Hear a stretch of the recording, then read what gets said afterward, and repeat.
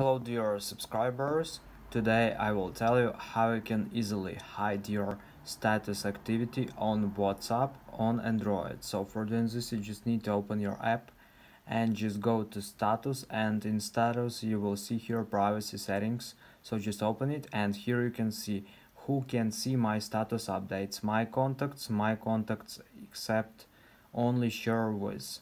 So you can also choose uh, one of these uh, three options what you like and what you want uh, whom you want to see your activity and whom you don't want to see your activity. So this is the way how you can do it. So thanks for watching. Have a nice day. Subscribe to my channel. Click like and goodbye